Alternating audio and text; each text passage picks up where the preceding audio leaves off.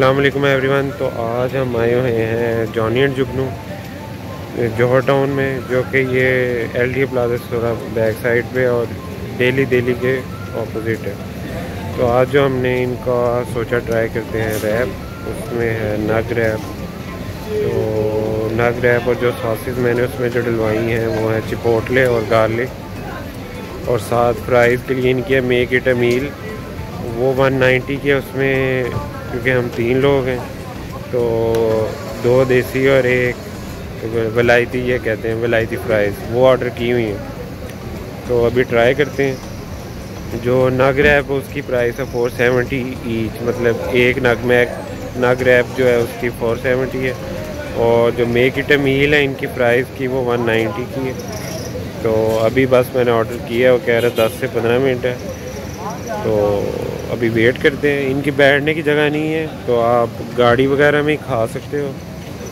तो अभी बस वेट करते हैं और आपको मैं वैसे दिखा देता हूँ इसकी लोकेशन बाहर से। अभी रात है, पता तो लगेगा नहीं, लेकिन आपको मैं अभी दिखाता हूँ इसकी लोकेशन बाहर से। और फिर डिस्क्रिप्शन में भी मैं आपको इसकी लोकेशन प्रॉपर डाल दूँगा। तो अभी बस वेट कर रहे हैं हम और फिर आपको मैं टेस्ट करके बताता हूँ। और ये जॉनी एंड जुगनू है। और ये आप देख सकते हैं, इधर रश काफ़ी होता है। तो फ़ेमस भी आप सबको इसका पता तो होगा। तो ये सारी गाड़ियाँ तकरीबन इधर आई हुई हैं, जॉनी जुगनू में।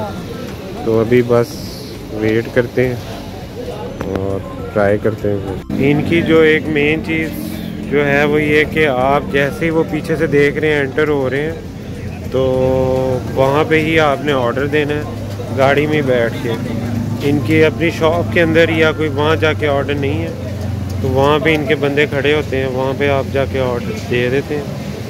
और वहीं से वो फिर 10 से 15 मिनट में आपको कहते हैं, हम पहुँचा देंगे, आपकी गाड़ी का नंबर वो नोट कर लेते हैं, वहाँ पर वो दे जाते हैं। तो लेकिन ये थोड़ा सा है इनको थोड़ा सा बेहतर करना चाहिए कि वो बंदे वहाँ पे शायद थोड़े हैं या काफ़ी टाइम लग जाता है वहाँ पे ऑर्डर देते हुए। बाकी ठीक है ओवरऑल तो अभी देखते हैं कि कितनी देर लगती है। वैसे तो इन्होंने 10 से 15 मिनट कहा हुआ तो फिर चेक करते हैं और ये हमारा आ गया है नग रैप और साथ में फ्राइज़ और कोक है। तो अभी इसको टेस्ट करते हैं हम। ओपन करके और बताते हैं फिर कैसा टेस्ट तो ये आप देख सकते हैं इसका। नग रैप का, जो सबसे ज़्यादा जो ऊपर नज़र आया चिकन और सॉसेज हैं। तो अभी बस इसको टेस्ट करते हैं और फिर आपको बताते हैं कि ये कैसा है। तो अभी बस इसे टेस्ट करते हैं। तो ये अभी हम टेस्ट करते हैं इसे और फिर बताते हैं।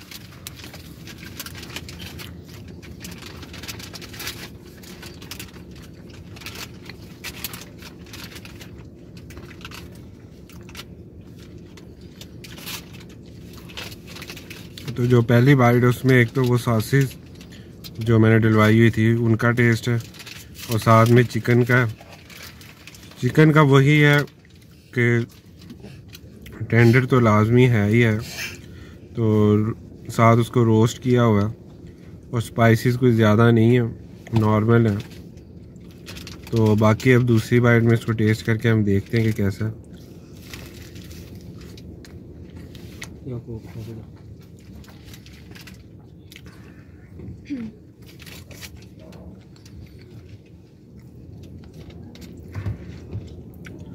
तो ये भी सेम वही सॉसेज थोड़ा सा मायोनीज का भी टच है और चिकन चिकन का ये है कि कंजूसी नहीं है फुल भर के डाला हुआ तो अच्छा है ओवरऑल खाना चाहिए लाजमी. और इसके बाद अभी फ्राइज़ भी टेस्ट करके हम देखते हैं कि वो कैसी हैं. तो इसका जो है ओवरऑल गुड है। जो रैप है ये अच्छा है। अब फ्राइज़ का टेस्ट करके बताता हूँ। और यह मैं फ्राइज़ इनकी जो हमने ऑर्डर की थी वो वलायती और देसी थी। ये मेरे वाली वलायती है। वलायती जो है ये थोड़ी स्पाइसी है। वलायती स्पाइसी थी ना? देसी स्पाइसी देसी वाली स्पाइसी थी। ये वलायती नहीं है सॉरी तो अभी वलायती खा रहे हैं। फ्राइज़ में जो मुझे अच्छी चीज़ लगी है, वो ये है कि इसमें ऑयल कम है। ये एक अच्छी चीज़ है। और जो अगर आप वलायती खा रहे हैं तो उसकी स्पाइसेस कम होंगी, देसी में ज़्यादा हैं। तो ये आपके टेस्ट के अकॉर्डिंग है। तो ओवरऑल गुड एक्सपीरियंस तो रिकमेंडेड प्लेस है, आप भी जब आओ तो लाजमी ये ट्राई करो, जो रैप्स हैं इनके। तो आज का यही है कि गुड एक्सपीरियंस रहा है। तो प्लस प्लस पॉइंट है इसके लिए। तो मस्ट रिकमेंडेड प्लेस है। तो ओवरऑल तो अब मैं इसको फिनिश करता हूँ और फिर चलते हैं। अल्लाह हाफिज़ बाय